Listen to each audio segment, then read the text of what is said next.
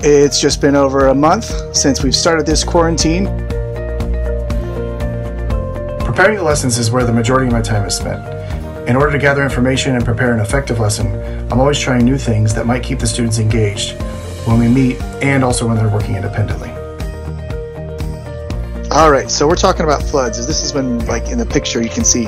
The quarantine has made some huge changes to the way I've approached my lessons in pretty much every area, between planning, implementing, and assessing the lessons.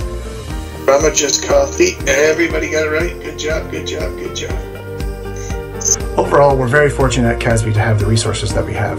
This whole experience has been and will be a constantly evolving and growing opportunity. And then we'll start to do some research on Tuesday. I wish you all the best, and hopefully, we'll be seeing each other face to face here soon.